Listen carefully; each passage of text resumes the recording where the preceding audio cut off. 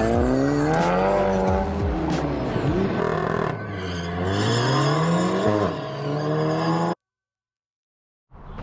is up, guys and girls?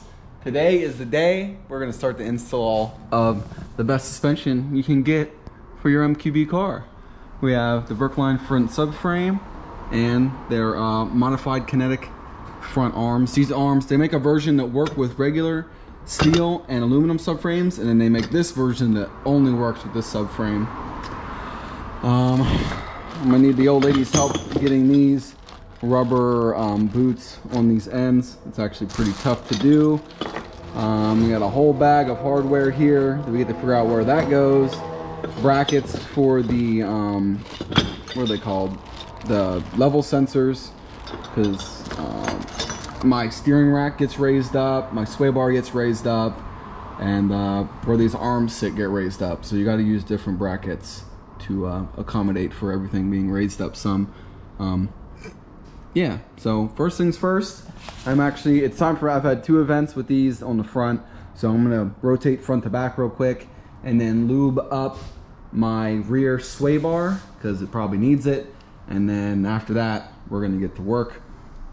Um, I didn't want the car, it doesn't even matter. I don't need to explain why the car's sideways, but that's just the way it's gonna work out today. I Had the hood open for a while, trying to get things to air out. Shout out to Racing for that little box. But uh, yeah, I'm gonna knock out my little maintenance things and then we'll actually get to work.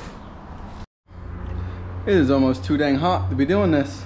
Look at this, uh, 91, yeah, real feel, 99. Earlier that said 103. Finally starting to cool down, but all I did was rotate tires, grease my sway bar, and uh, put the car on jacks. But anyway, let's actually get started on this. First thing I'm gonna do is loosen up the end links, um, the collars, top and bottom, because these are gonna need readjusted since the sway bar is gonna be moving higher. And then I'm gonna disconnect it from the strut um, because the subframe is gonna drop. I'm just gonna leave it connected at the bottom and uh, then we'll readjust once the car is on the ground and settled. We'll uh, readjust preload here. But we're gonna do that first and then we're gonna drop down here and undo these ball joint um, nuts and then there's a nut right up in there. We're gonna get that out and then we're gonna get this ball joint out because obviously we're swapping ball joints. So this ball joint is the 034 one that adds um, like 1.2 degrees of camber. And I got a buddy who's to be picking this up along with the 034 subframe inserts. So we're gonna get those out get those ready for him. Um, you definitely got to make sure we got to take these covers off get these um, sensors off make sure we don't break those. We got new brackets for these. You see where it connects to the subframe. So we gotta take note of that. I'm actually gonna take a picture of my phone that way we know the orientation on each side. And then from there um, it's not too terrible. We leave these on. We leave the arms on. We'll take off these brackets on both sides. We'll take off the bracket here for the downpipe the dog bone entirely and then all that same stuff on the other side um, the oil level sensor actually doesn't route the same way as previous generations but on the last gen your oil level sensor, um, it came up this way and it came up through the subframe. Right? Yeah. So that's, yeah, that's different. Because I just did this the other week so, and I had to like make sure I routed it all nice and neat. So that's something different between the Mark 7 and Mark 8 or 8V and 8Y. Um, and then we'll do one, two, there's two of these on the other side as well for the sway bar and then I believe it's this one right here for the steering rack one on each side as well so all that will get dropped and then we have four bolts to hold the subframe in and then we'll put a jack under the car lower it down slide it out and then we'll weigh it compare it to the other one and go from there. But, uh, let's get to it. You can see here we got the end links off. We got the ball joint nuts off. Next up we are doing this here level sensor so we don't wind up breaking it. There's just a little 10 mil right there and a connector. And after that, you can um, just kind of roll, this is like a ball in here. Literally just kind of bend it back and twist it and it pops right off. Okay, so I just got that 10 mil off. We will get this bad boy over. Like I said, you guys, just kind of twist and bend, pops right off. All right, so next up, I'm doing these right here. Um, trying to back up. You got your two 13s for your sway bar, and then this is a 21 and then these are also 21 for these brackets. And then this is also a 13. There's two of those, a bunch of 21s. So you got one, two, three, four, five, six, seven 21s. And then this is an 18 in the dog bone. And then you got one, two, three, four, five, six 13s. So two, four sway bar, and then two for your bracket. And then after that, right up here's one and then the other one is oh right here for this this is the other one so we actually won't um, actually yeah, we, we will go ahead and take those out and then the front ones will be the last ones we take down hopefully this is a decent angle uh, my GoPro clip is magnetic so I have you sitting on my exhaust right now anyway we got all the 13s out we're gonna move on to the 18s. They're kind of a pain to get to. What? Oh, so the these back ones here, you guys can't see them. For the bracket, they are not 18, they are much smaller. They look like a 16. So I'll have to grab a different one, but we can grab these big ones. They hold these brackets and they also are the ones that hold the subframe in. So.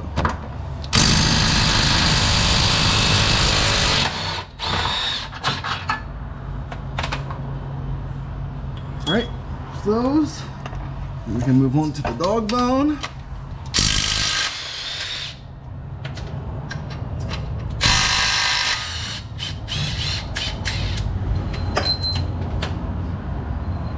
rear and front dog bones. I'm gonna mark these so I know. I don't know if it, the kit came with new ones, so. Rear and front. Now that we got those marked, we can get to these bad boys right here. They are 16s. Kind of got to bend this plastic out of the way. And we won't be needing those ever again. These will go to Kyle, which he'll probably use his own or whatever. This subframe is already sold to my boy Kyle. He called it. Sorry, everybody. Don't be asking in the comments if you can buy it. You're already gone. All right, those are right out of the way. Now we can get this last dog bone.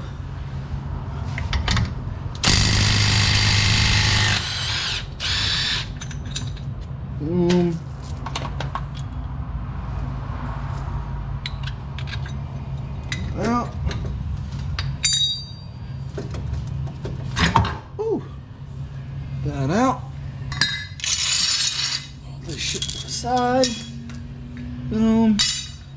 The other insert out once uh, the car is on the ground. It's kind of a pain. Yeah, I'm not dealing with that right now. So, oh yeah, we're still gonna do these bad boys. Forgot about those. We'll knock the steering rack out next.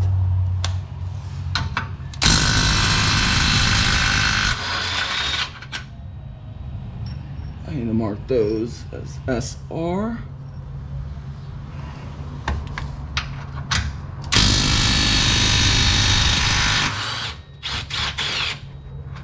All right. So now, basically, there's only two bolts holding the subframe in. We'll uh, shimmy the jack up here, get it nice. Uh, hello. How's it going? Are you Amazon? Yeah, I got two packages. I'm gonna leave right here for you. That's perfect. Thank you. You too. Uh, like I said, we'll get the jack under here and then uh, undo those two. You get them through the control arm here. And then, uh, yeah, we'll drop it down, slide it out. We'll get these ball joints out. And then, then we'll start assembling the subframe. Not too bad. Wow. As soon as I hit the play button, I drop it. Hey, beating up my GoPro this weekend. All right. I gonna be loud, but see these arrow covers kind of makes it a pain. Got my big gun.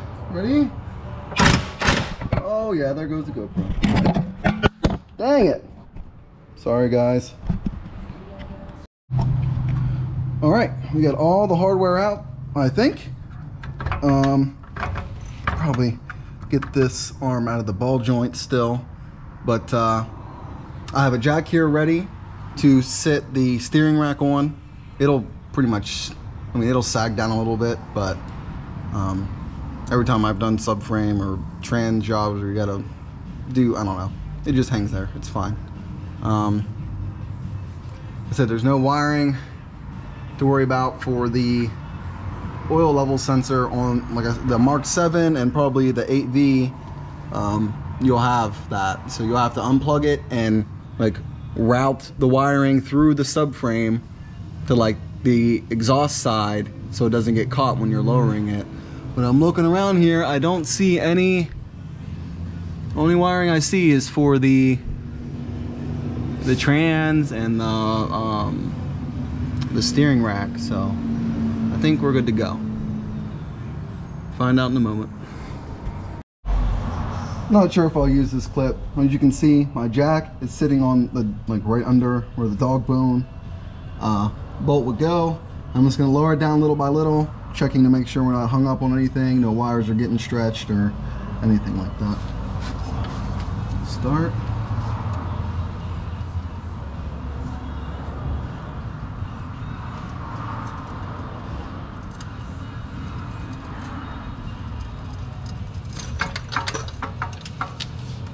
we're starting to lean.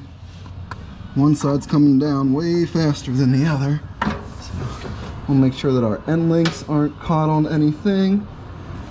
Both sides. Very possible. Okay. Pushing up on it.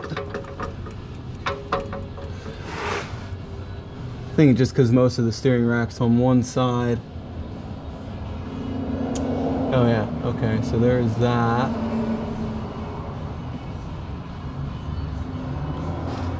I think this side has that. So this side, if you can see up there, you got this little plastic, it, it's like a push pin type thing into the subframe. Yeah, it's a push pin. So we'll go around, we'll grab the tool and pop that out. Don't, yeah, that's, um, a wiring harness shield. So that's what we, we gotta disconnect. It's not really pulling on it much. I can feel it. There's like no tension on it yet. So definitely look at it. And that's on the driver's side. I'll get around the other side, get a better look.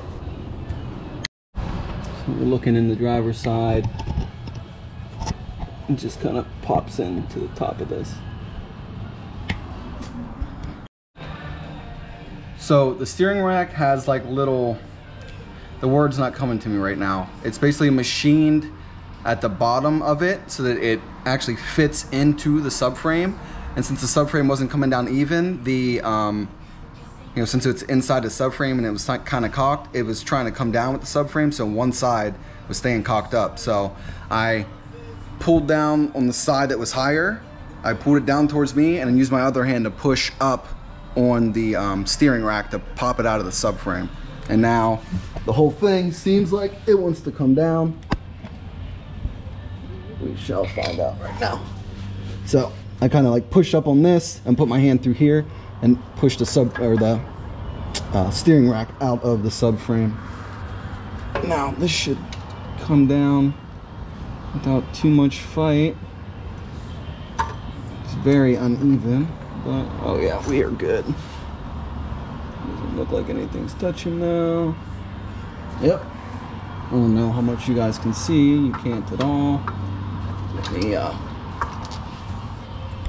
now we'll slide the subframe out and get the jack under that steering rack so it's not just hanging. Not too bad. All right, this is very difficult to weigh. I should have took a clip here of when the uh, I had it laying down with the other with the arms on it. It says 14.7 for the subframe. That's still with some hardware on it. So there's that. Came out to 30.5 with everything. So we'll see. This says 14.7. We'll weigh the arms by themselves and add it. Let me write that down. 14.7. This is like pretty difficult to do. So I'll show you guys the way I did it. So, so my hand, this one here. If it's gonna work, it says 200.7. Last time it said 99.7. So we'll try it again.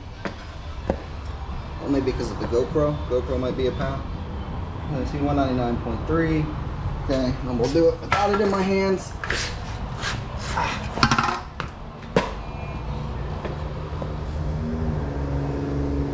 165. So you add 30 pounds, it takes you to 195.7. So yeah, about about 33 and some change somewhere in that nature. Anyway, I mean you save save a three whole pounds, but I suspect if you weren't if you kept these arms and put them on this, that would be the optimal weight savings, but really it's just a byproduct. I didn't even weigh everything because this doesn't have the uh, like if you threw in the brackets that we took off that we no longer need and the uh, subframe insert, that still counts. I mean, it ain't much, but couple pounds, not bad. All right, now that the weighing is done, we have a handful of small things to do. First thing I'm gonna do is get the level sensors onto their new brackets. And then I'm going to get the rubber boots onto these ends. And then after that, I need to get the ball joints out of the knuckle, which is gonna be a pain. And after that, we can loosely install these arms onto the subframe. Um, I might need to take two pieces of 2x4 and um, screw them together because I don't want my jack scratching up the subframe. So I think if I can get all that done, I can call it a night. And then, uh, yeah, then tomorrow install it, adjust it, and hopefully Friday get in alignment. I'm thinking of calling Friday off because, quick rant, huge GameStop guy. GameStop's doing a 4 to 1 stock split on Friday. I have some call options on AMC and GameStop looking to make some big money and at work I don't have good service so thinking I'll take off and figure out any last minute adjustments I need to do before hopefully getting alignment. Alignment shop called three times today, left messages, didn't answer. Don't know if they're sick today or what. They're kind of a small shop, so maybe they'll answer tomorrow and get me in on Friday so I could finish this up. You know, be able to watch my stocks and get an alignment on Friday. But uh, anyway, let's go grab my iPad so we can look at the digital instructions and go from there. One of my favorite Jason Aldean songs. So over here, following said instructions. Good thing we marked them left and right because the brackets matter. So you can see, this is the new bracket versus the old bracket. I don't know exactly if it's shorter or longer or what, but this is what the old one looks like when it's installed. Can see it has that little like inserted area, all that. And then this is what the new one looks like. It has a welded screw in there, some bracing, so swapping these over, pretty simple. It's just a T20 right on those two guys, swap it over to the new one. And I believe where these go into, we will add little ball, like little connectors for that into the this side of these two brackets, but we're not there yet.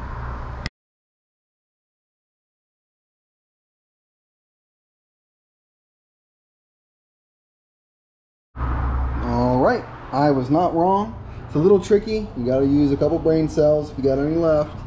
So you look at the way the arm, this arm attaches to this. It only goes on, it's kind of offset. It only goes on one way. This goes this way. The bracket, I mean, it can't go, the holes won't match up. So clearly this only goes on one way, right? It has this little notch. I'm showing you guys so you don't have to use as much brain power, I guess. So this will go just like that.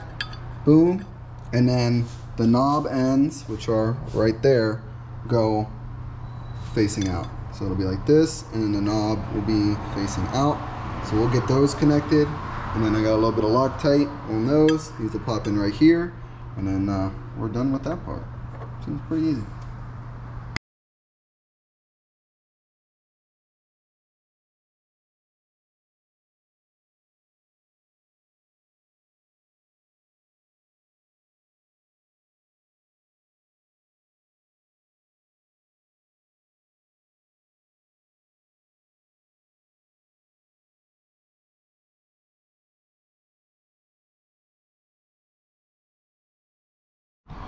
All right, so the brackets are all on. I did put two of them on, but I picked up the wrong bracket and put it on the wrong way. So I had to correct myself. But if you look, if you take your, if you set these up like you're looking at your subframe, it's on the ground, you always just go down and look like, oh, ball joint facing backwards, easy. So this is how they're supposed to be. Um, hopefully I did these right. Pretty sure I did. So this is the right side you better look at it if you need the assistance. And the left side. Boom. So there's that. I went ahead and figured out what all hardware goes where. So they give you these two thicker bolts um, that these go over. And I was test fitting it on the subframe because it raises up the steering rack like I said. So these go in here and they said they're supposed to be loose. To give you wiggle room to get the bolt because the bolt has to be pretty much straight to go in. And as you can see we'll just get under here real quick. Um, like I said it sits into the subframe. So that goes over this and then it gives you a little bit of wiggle room to uh, that's a long way for the bolt to go to thread in and you have to literally have it dead on otherwise you're going to strip it. So keep that in mind and then I went ahead also and figured out all the rest of the hardware. So you got your two Allens and then your one, and then uh, the special ones like this, they go to the arms. Now the only thing I figured out so far that's wrong with this kit is that they got powder coat on the inside of this and the, the tolerance is so tight. So I had to take a little bit of a file, file away the um, paint to get that to go through and it's incredibly tight. So next up, I'll get this side done real quick, get this one attached. I'm not torquing anything down yet. And then I'm gonna get these ball joints out of the car, call the old lady down to put these on because they are a pain in the ass to do by yourself. And then I'm calling it a day. And tomorrow we'll install everything. On here it also shows, um, it shows here, it says one full revolution of the rod end will give 0.15 degrees of camber, and one full revolution of the other one will give 0.32 degrees of caster. I need to look up and see what OEM alignment specs are because it gives you here a measurement. You can go in, see that, and use your little doohickey to measure the starting point and then do do the math. How many revolutions do you want per camber or caster? Um, caster is going to be tricky. I think on my last, on my Golf R, I had 9 degrees of caster and 3.2 degrees of camber. And I don't want to go that far. So I'm trying to aim right. Oh, well, I, I want that about that amount of camber. So we're aiming right at 3 degrees of camber, 3.2 max. And then caster, like I said, I had 9 degrees and it rubbed. So aim for like 8.5 maybe. 8.5 degrees of caster, 2 point, or 3.2 degrees of camber. And hopefully you know, we'll, we'll do some driving around the neighborhood at my estimated home alignment settings, see if it rubs. If it doesn't, um, obviously we're good to go. We'll go to the alignment shop and then just dial it in. Hopefully it'll be within one turn um, to get everything even. Yeah, pretty excited. And then they have all the torque values in here. So this shouldn't be too bad. It does say for the left hand side, um, where does it say? Right here. On vehicles equipped with DSG or Tiptronic transmission, the left-hand horizontal bolt cannot be completely removed at the location of the transmission. You will need to unbolt the pendulum or dog bone mount at the subframe to swing the engine forward to get what I'm assuming is this bolt. But we'll see once the car's up. Yeah, I think it's this one. It'll be this one that you can't, or no, actually on the other side. It'll be this one that you can't. I should have looked beforehand, but um, so that would be this to get this out to adjust that. So you would either have to do the dog bone side or you'd have to like disconnect the ball joint and this and swing it out of the way and rotate this. So I think that's just using a little bit of brain power I have left for the day. Here's something to note because you're gonna have to cut the zip ties on these to get these rubber boots on. So the ones on the single arm, whatever you want to call it, these ones are shorter than the other ones. See that? Can you guys see that? Shorter. Longer ones go on this one. Okay? Okay. We have 7% battery. Hopefully we can get it in this clip. So, it takes two people with three tools and some WD-40. I'll show your tools real quick.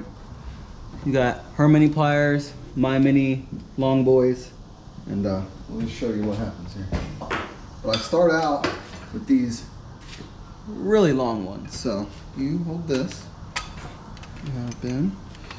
So I go through the side down to the bottom. Then I open it up. And then as I spread this to go on, she's grabbing the other two sides to make it more square. Because right now it's just like like that, and she's grabbing the two opposite sides to open it up, and then it squirts some WD-40 in, and it seemed to pop right on. So hopefully this is uh, almost out of battery, right? I should bring it down a little bit lower.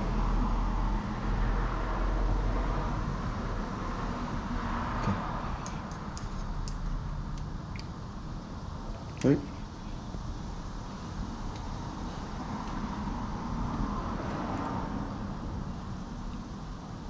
Okay. There. Some WD.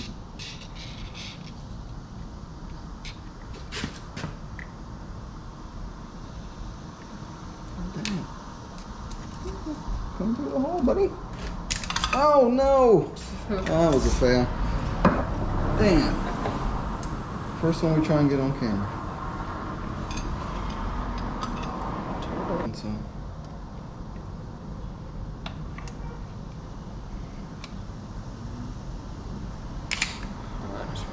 Oh no!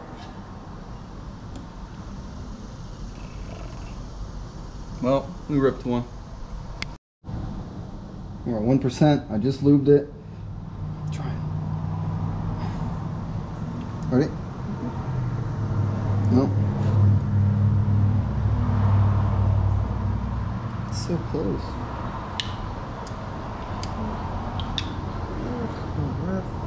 It's gonna be hard now because it's lubed. Damn it.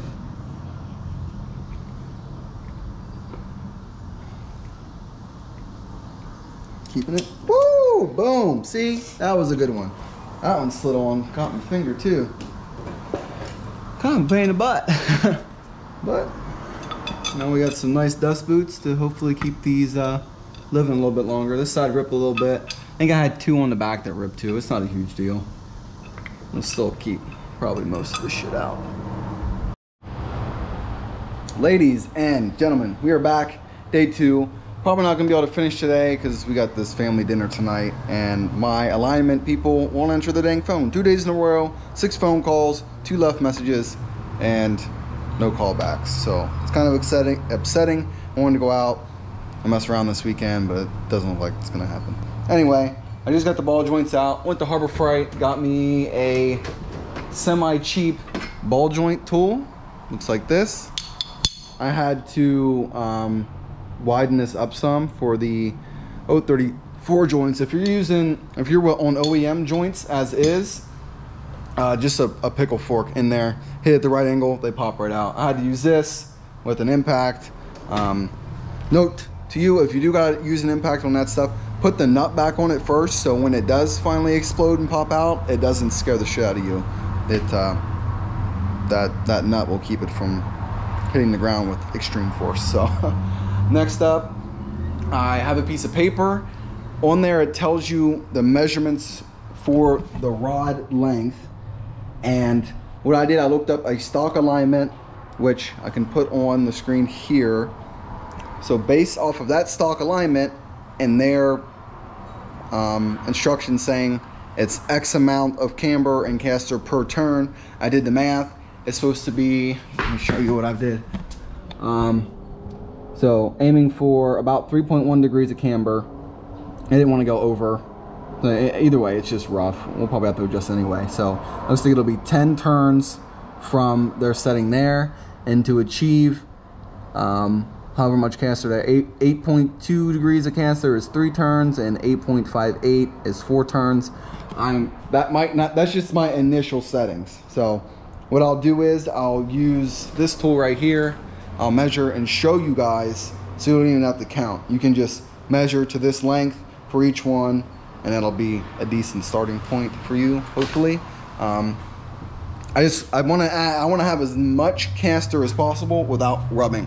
And camber, like anywhere around above, close as to 3.2 as possible, but I mean 3.15, 3.1, whatever, that works for me. So but before we do that, I'm gonna get this dog bone mount in and it's pretty simple. Um, it goes in, so it goes in like this. The hump is up, hump up, put it through. You can see we have like this area. This is where this goes. So this is gonna sit in there like that. You're gonna put the dog bone mount in, put this in, and then you put this in. Pretty interesting. And this obviously will tighten up against this and it adds a it's like yeah it takes up that that extra bit of space that's in there so that's pretty neat okay, so just take this slide it on in line it up this in line that up approximate up slide this through one of these is not lined up Oop done knocked the camera Hasn't even met the thread yet.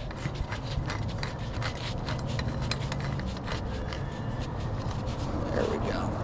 There's some threadage. So, see, there we go.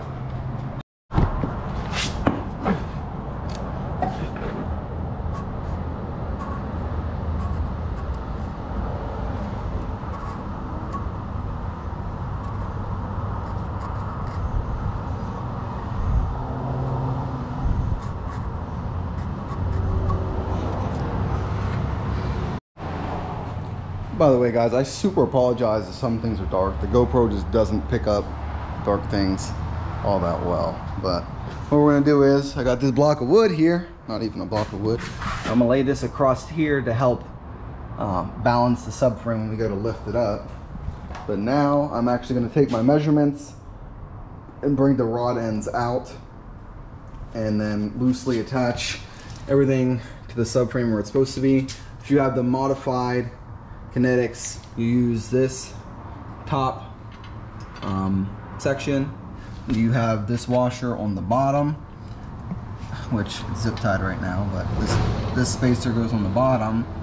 And then you have all those um, spacers that go on. We'll be able to loosely attach the uh, sway bar on there and loosely attach the arms obviously and the uh, the ball joints will be interesting. All right, guys, looking at the tool here, we are right on the 12 mark. Um, using this side, going from up against the nut to where the first thread starts. It's about four thread count. That's what it comes out to.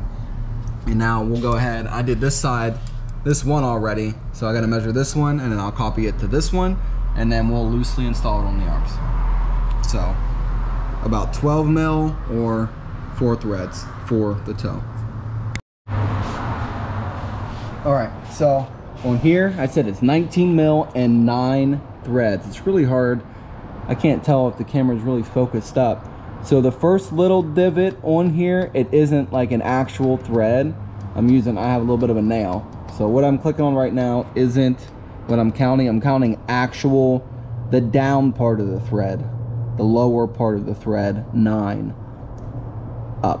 Up until this last one where my fingernail is, that is nine. So count nine downs. I'm not counting what's up in the air. I'm counting where your fingernail goes down into is nine. And the same thing over here on these is four that your fingernail falls into. That's where I'm starting out at. And I don't know if I'll, I want this alignment video out, um, you know, on Monday just to show the install. And I don't know when I'm going to get alignment at this point. So I might need, a, you know, one or two more screws on either side. And I'm, I don't know if I should wait till I get an alignment and then I can put that in here or make another video talking about the alignment or just update in the comments um, what extra alignment steps I had to do in terms of turning these. But this should be a good, fairly freaking close alignment. But we'll see. At least for toe or uh, camber and caster, we'll still need to obviously adjust toe up on the rack, but we'll see. Now I'm going to start um, lightly installing everything on the subframe.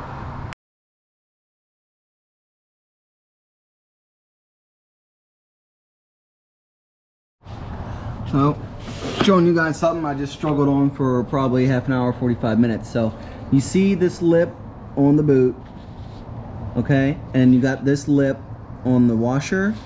You need to get this section of rubber over top of that. Otherwise, this section gets stuck under it and this doesn't compress enough.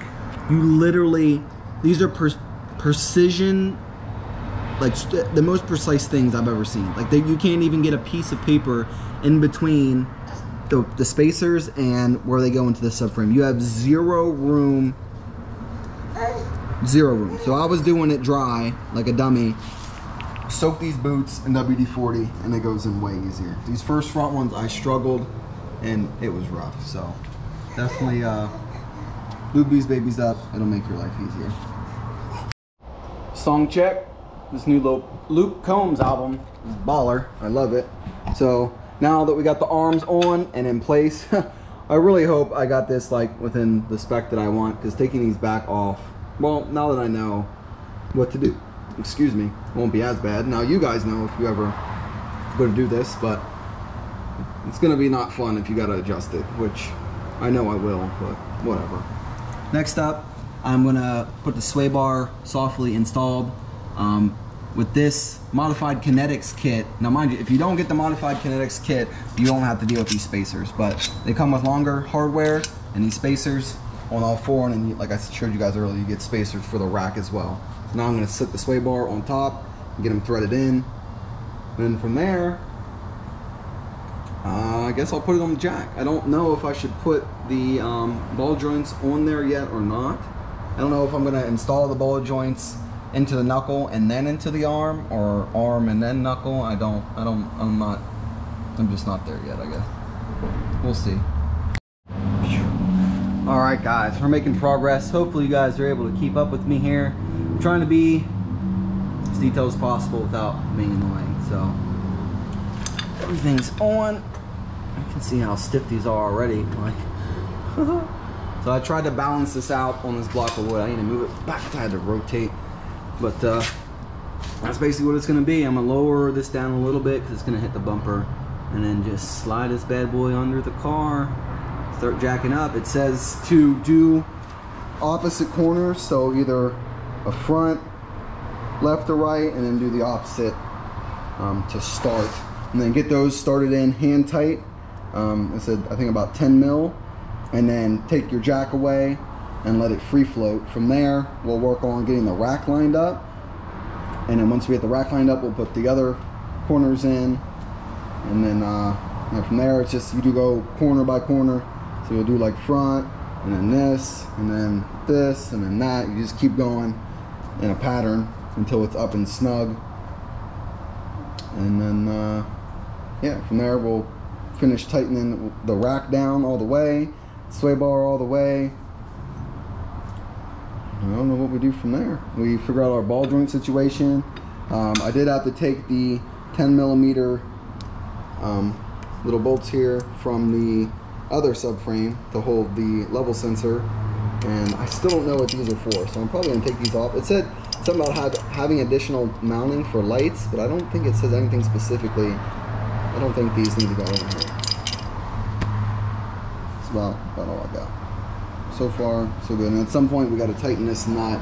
I think once we tighten this up to the car like to the transmission then we tighten the center bolt and then we tighten this last I think. And we'll go over that when the time comes. There's also this little spot here for something. I have no idea what that's for.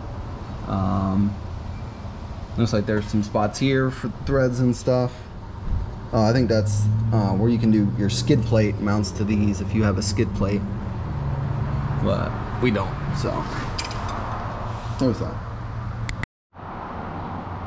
day three. Cut it out early yesterday so we could go eat with the family and stuff. Um, I'm not gonna be able to get alignment anytime soon, it seems, or at least this week. I have to wait until next week. Today's Friday now, so we're getting this done tonight. So, right now we got the frame. I told you got down to the car, and here she is right now. And this was a big fight when I just worked on a buddy's car the other week doing um, insert kit, getting the bolt lined back up into the steering rack is very not fun because it the steering rack the weight of it wants to tilt towards the front of the car so the bolt doesn't go in straight so you got to try and twist the steering rack and get the bolt in um, and once you realize that you're usually good to go. But now I have this spacer to go through as well.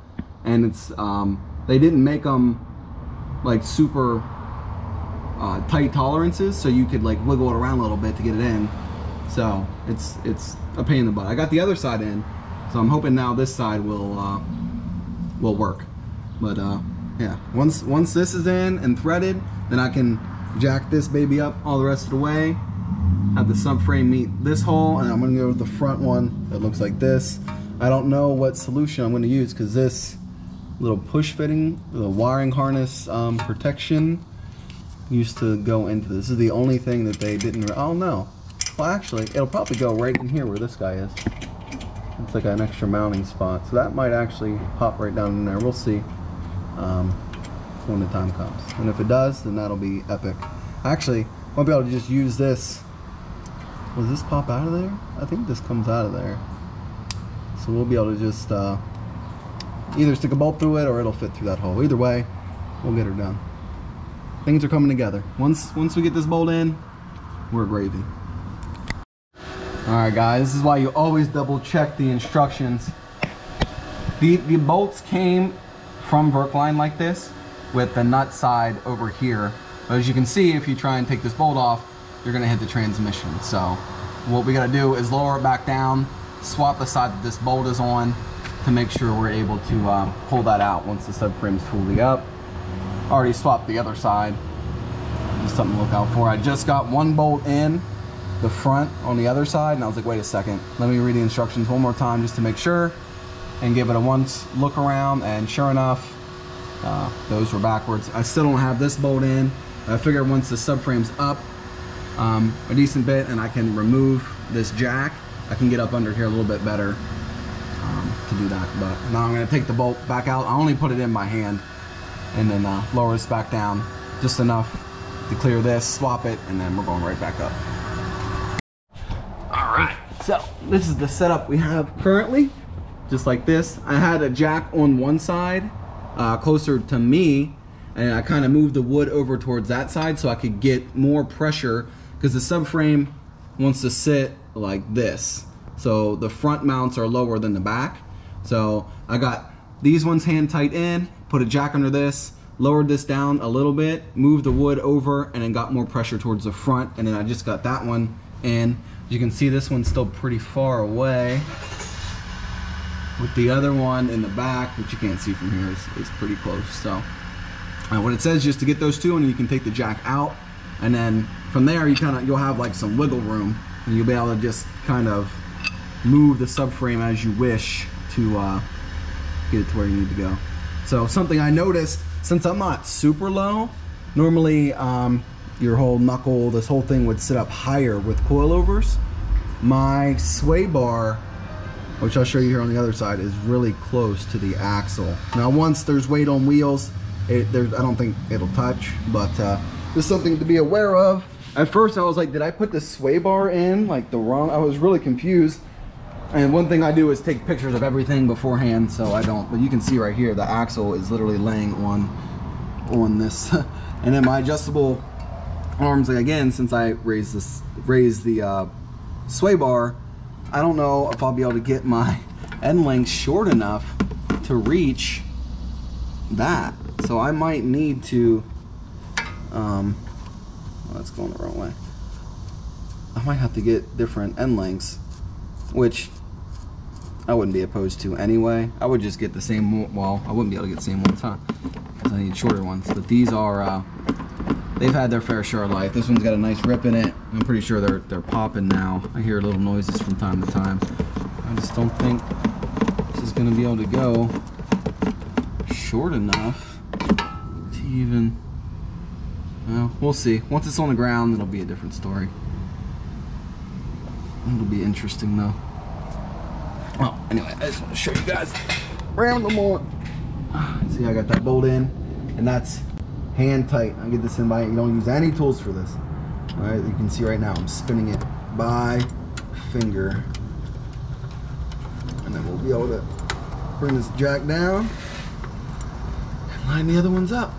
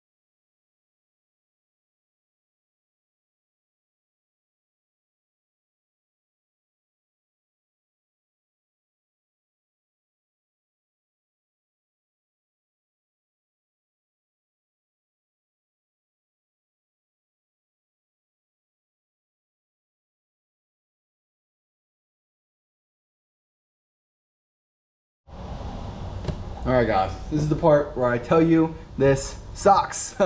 I am was forced to take a break because my SD card filled up and uh,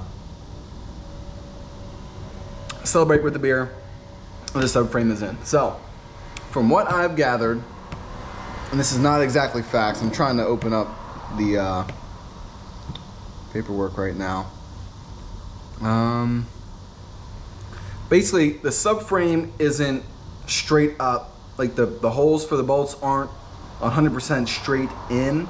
That the subframe is like slightly cocked out, it seems.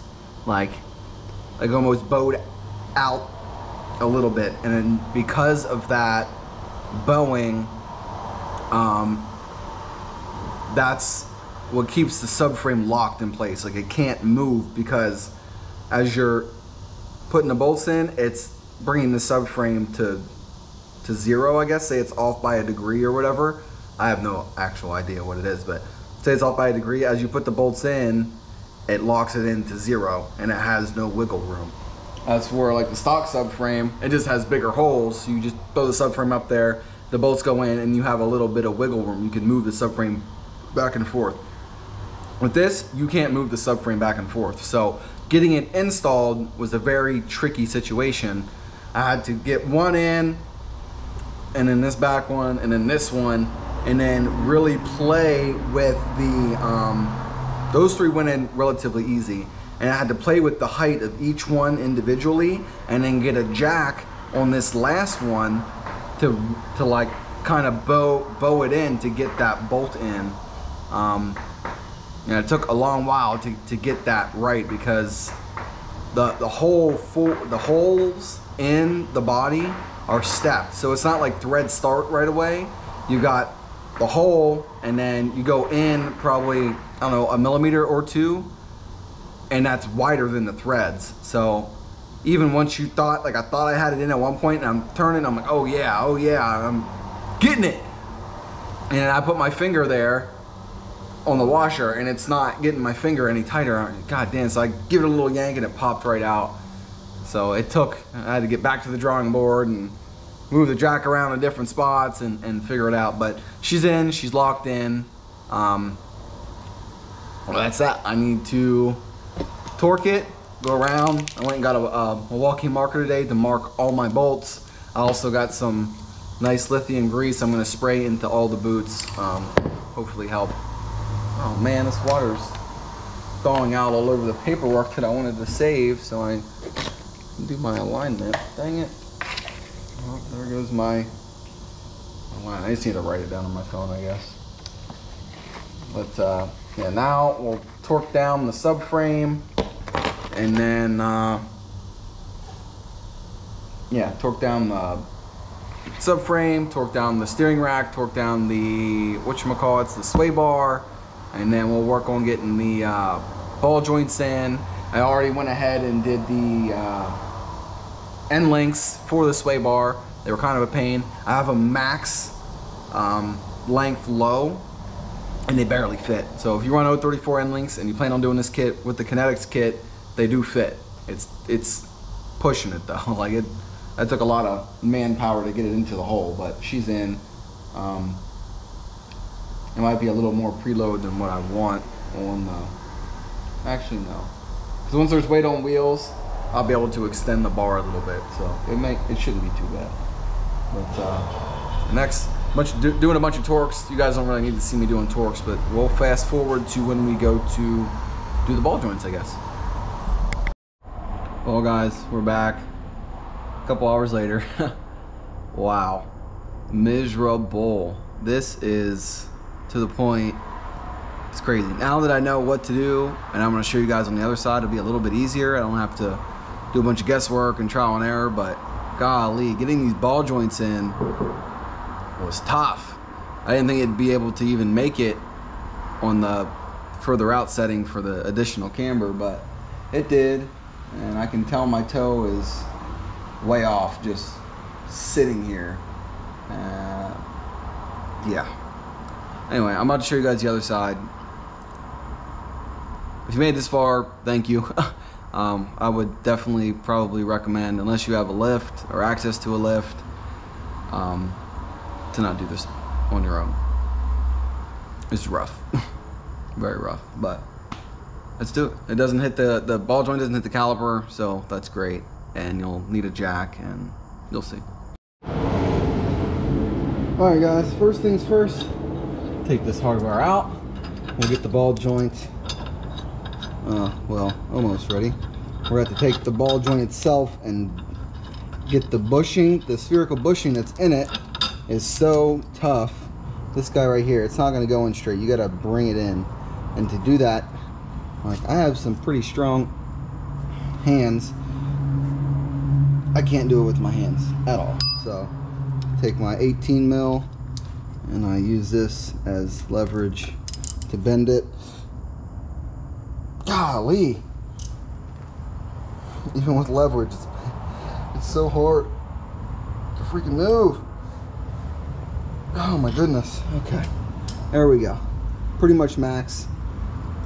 And we're gonna stick it in the first set of holes so that it sticks out further. So this with this kit, the one that actually has a hex on the top goes in the middle back. Boom. These two go on the sides. Boom. Boom. The one that have the uh, six mils on top get the washers. Put those on. Oh. This one that has the collar on it goes to the single one. And the other two, they don't have collars, they have washers. So, get those on. I can't see my hands. My head is behind. Uh, come on. There we go. And of course, these nuts on the bottom aren't the same size of one another. So that's very convenient. So those are on. Now we get the jack right here. And to tighten this is an 8 mil. These tops are 6 mil. This is a, I think a 15. This is a 16 and these are 17. Something along those lines. Everything's different and complicated. and then uh, looking up here, the ball joint, move myself. The ball joint going up gets stuck right here on this lip. So you gotta like push this in as you're bringing it up um, so it doesn't get caught. And you really gotta like wrestle it. Oh, we gotta take this off. Actually, well the other side did, I might not have to. Well, well, we'll see if it'll let me. I don't think it will. No, it won't. We'll take this off. This is a 21, I believe. So I bring it flush with the threads, hit it with a hammer once, take it off, pull this out, and then you have free range to like move this whole knuckle around since it's not being held by the steering. Real quick, sorry headphone guys. Off, bring it back up. Flush so you don't damage the threads.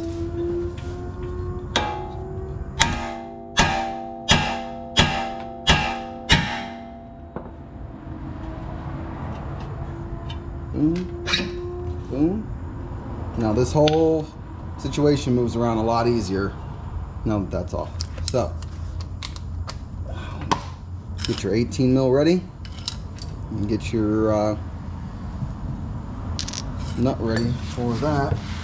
A ball joint, jack over. Ah.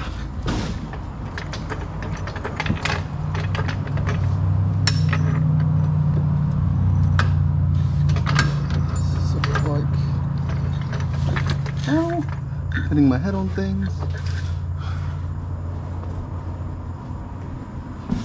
Ah.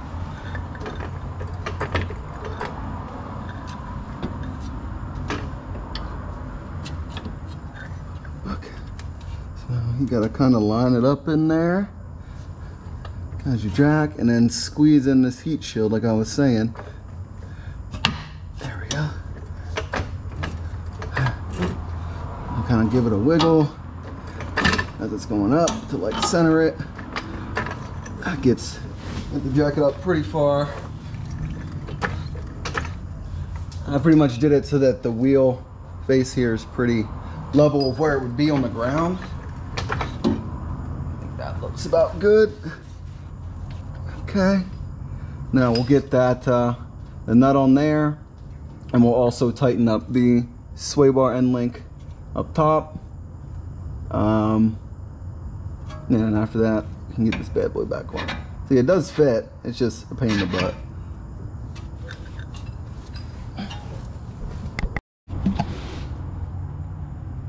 getting that tied up in there is quite the pain. Having one of these style wrenches really help because you can set the angle. Without that, it I don't know how you do it. And just even having this, it's a real pain in the butt. But now that that's done, way smoother doing it on this side. Um, we can get the tie rod back in and uh, we might just break it loose now and adjust toe a little bit on both sides because it's already I, I know it's already going to be like way off and I don't I'm really concerned as to how many threads are going to be left in there because I had to pull them out quite a bit for the 034 dog bone or 034 um, ball joints. And now these are 0.2 alone with these joints plus more added camber from the arms itself. We're putting a lot of camber adjustment through the bottom rather than most people do camber adjustment from the top. So you're doing it from the bottom you got a lot more toe you have to adjust. And I just might run out of rod but we'll see. Next up on the list after you tighten everything. You want to tighten all these things. Tighten this up with your 8 um, do the level sensor. So level sensor goes right up here. You got your little 10 mil. You got another hole beside it. How well we can see it. Yep. See that hole? That's where that screw goes into. Your 10 mil goes through that hole. Sensor faces up. And then you got your ball you just kind of go in at an angle onto this and it snaps right on. Well guys as you can see what I was scared of happening happened. I just ran out of toe adjustment. That really sucks so. You can only really add so much camber from the bottom until you run out of toe adjustment and I guess I just found that limit so I was hoping I could just do it all from these and call it a day. But I guess not. I guess really it depends. I'll put it on the ground and see what the toe looks like. Um, I'm exhausted. So the Euro Sport camber pucks give, I think, 0.8 per side. We're have to order those. Depressing. It's really upsetting. It's not Verkline's fault by any means, but damn. Damn it. Well, I put uh, toe settings to about where I thought they are safe, I guess. Uh, finished tightening up in here.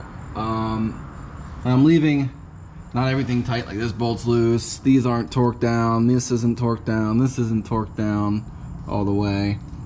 At least anything to do with the arms aren't completely torqued because I'm gonna put the car on the ground and I'm either gonna have to move this in which will take out 1.4 degrees and then I'll have to bring this out a little bit more to do my math to make this 2.4 on my rough estimate and then those um, those Eurosport plates whenever I order them that should bring us to about 3.2 um, be nice if I could just leave it where it is and it'd be perfect but I don't know if my my maths are that good.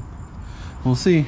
But to put wheels on I'm gonna spray like uh, some lubricant into these boots real quick front and rear and then we'll put the car down see how she looks.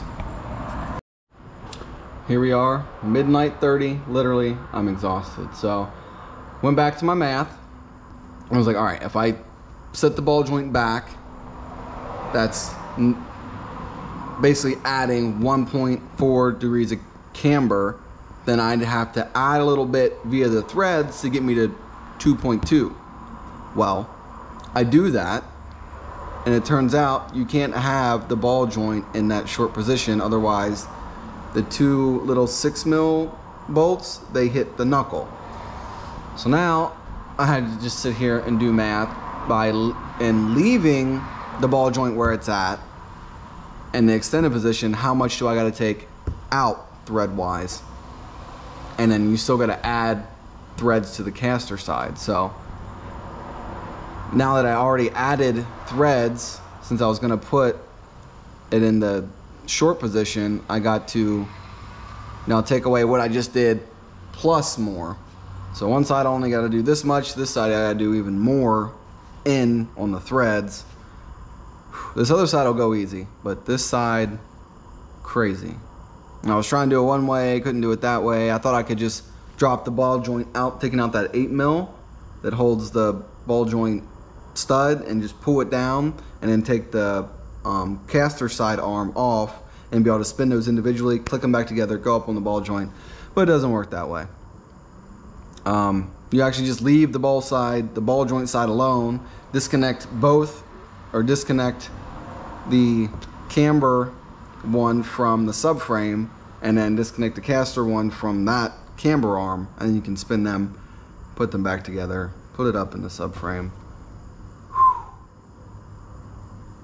Are you, if you're still with me, thank you. I'm learning a lot. And if you're doing this at home, I still don't recommend it. I think it'd be worth, even if the shop charges you double, it would be worth, um, like double as in alignment time. Well, I guess if it's gonna be at the shop, you're probably gonna pay out the ass anyway to get them to install this. But man, I mean, I'm learning a lot. This is great though, because I'm gonna probably wind up ordering my own like at-home alignment kit um, to save my ass in the future and whatnot. But I just wonder what you guys know what was going on. Um, my brain hurts. All right, so I adjusted that side in 15 minutes and I had to do some extra steps to tighten the uh, ball joint. So I have this down pat now for how to uh, adjust caster and camber. So, fairly simple. You know, take off your nut, get your bolt out, so this arm can drop out, and then you're just gonna disconnect these two. This nut, this bolt, and make sure you take off your level sensor before you do any of that. So we'll do that real quick. No, can't do it with the left hand, I'll probably break it. Um, yeah, so disconnect this, disconnect this, disconnect this, and uh, you'll be good to go. The only bad thing is, because uh, there's like powder coat inside these holes, you kind of got to tap this out. On the other side, you got plenty of room. This side, we got the train. So we're gonna have to get uh, tricky with it. I think I got a little bit of space right there, so I should be able to get uh, get something in there to pry it out. So, boom. Time check and song check. All right, we adjusted it, and I think my calculations are now correct. I hope. This should be about eight and a half degrees of caster. You guys look, the amount of space behind the wheel and the amount of space in front of the wheel or tire, however you want to look at it. The wheel itself and the wheel well is moved forward now. Forward and backward is caster. So now the wheel is moved forward. I felt all around, it's not rubbing anywhere. I need to put it at full lock and, and give it a, a feel, but uh, it seems promising. And camber looks to be right about at where it was with the 034 ball joint, like right on the edge. If I do gotta adjust caster a little bit, I might just do like one more like half turn of camber.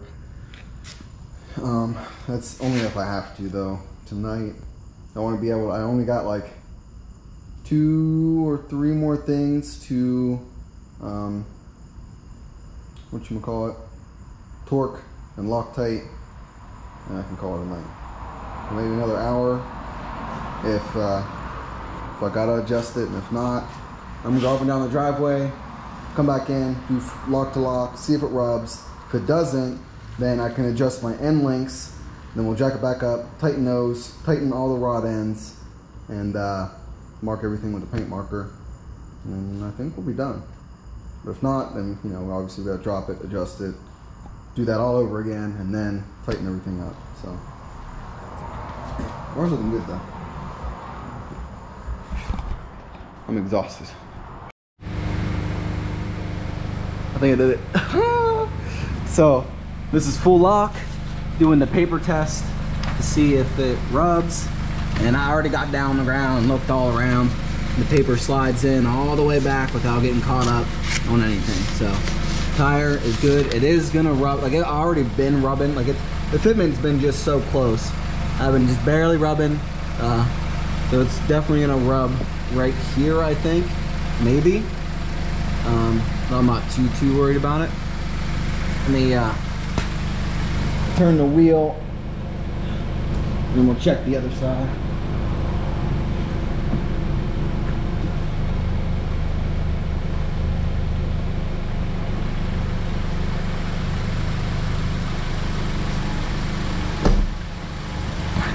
Look good here. Definitely not rubbing anywhere back here. Plenty of room in the backside. Sorry, you guys couldn't see. Plenty of room on the backside. Looking good. Let's check the other side. They should be dead even. I used the whatever measurement tool. I made sure all the threads were counted and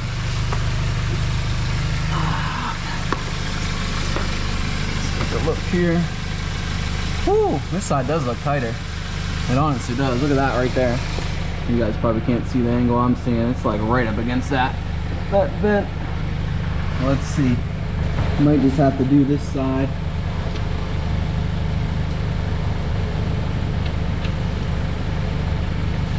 Paper goes through. Getting stuck on this vent in here.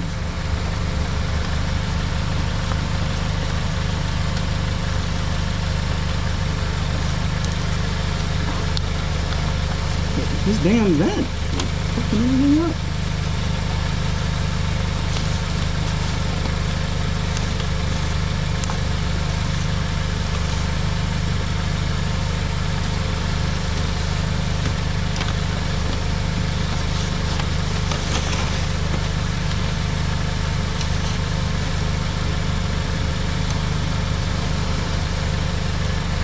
Works for me. And we'll see once we get on alignment rack how much it's off. And then I know the adjustments by turn. One turn of the one full turn of the rod for caster is 0.36 and one full turn of the camber rod is 0.14. So once I have it on paper, I can go back and get it, you know, fine tune it, get them matched exact. Um, this one's clearly a little bit further, so I might have this one a half turn um, further. Which honestly is a pretty easy fix. Well, a half turn, 0.36 and a half would be what? 3.18. So I think we'll be all right. Toe, toe looks good, both sides. So yeah. Do I feel like doing all that again? Not really. But uh, anyway, I'm gonna get the wheel straight, um, get the sway bar end links adjusted. And the wheels gotta come back off both sides anyway to uh, to lock those down. And I still gotta torque the camber arm portion and where the tie or the it's too late. I just gotta tighten a couple more things down. All right, guys, I dialed caster back. I have to turn on this one. So it'd be like 0.18 degrees. I put the toe in just a tad more on this one. Um, yeah, so I think we're ready for a test drive. I just washed up a little bit. It's almost three in the morning, but uh, she's dialed in pretty perfectly. I mean, I went back and forth on both sides, counted so many different threads and, and measurements and just trying to get everything nice and even. I like the way this looks on camera right now too. She's looking good. Getting my my sixth win. You better heard of a second win. I'm on my sixth win here. Oh my Jesus. Um, yeah, I guess I'll just set the camera up in the car real quick, see if I feel a difference, or hopefully we don't just I don't know die in the street. Oh, there's more crackheads. Speaking of dying. I really do wish the lighting was better on this thing. Um, so I'm gonna keep my light on. Uh, one thing I do notice, just in park, there's like a lot more vibrate after a cold start. But once you put it in drive, it goes away. So that dog bone puck insert, whatever the hell they use, is definitely uh, way, I don't know, less movement than uh, my 034 inserts, which means I need to get motor mounts. Because once you, if you have something stiff like that on the bottom and you have stock engine mounts, um, you're gonna tend to break things down there. So engine mounts and uh, or engine and trans mounts from BFI, and then uh, what's it called? Eurosport camber puck things. They go inside this, this the OEM um, top hat, so it's not like a metal piece, so it keeps rubber and stuff, so it won't be all. I mean, I'm saying that like it matters. I just put all these spherical bearings in the car, but um, I like the way those sound. So we're gonna order those, and I got a strut brace on its way from Malaysia as we speak. It says it'll be here Monday, so. Let's see what we come up with here. Listening for noises, watching out for crackheads. It's really weird to drive around with my light on. Oh, should probably put my seatbelt on. Really apologize about the uh,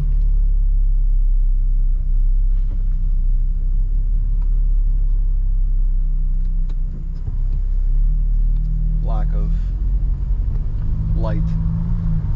Sorry, I'm listening for sound. The steering feels like much tighter. You can feel definitely because of the uh, oh my goodness. No, the spherical stuff, just suspension malfunction. You can continue driving. Sick. I don't know what that would be from. Unless I didn't plug in that, that one sensor. Uh, you know what? They probably got to be recalibrated since I raised the uh, whatchamacallit's up. I raised the the arms up, so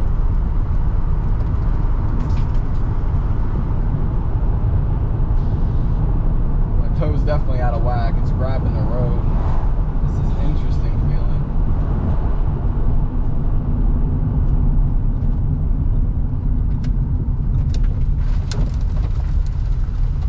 That was a lot of sand I did not want to go through. Jesus Christ, why is there so much sand there? I can definitely feel a difference. I definitely need to adjust my toe and check on that sensor. I know it's plugged in. Oh my god, this is so weird.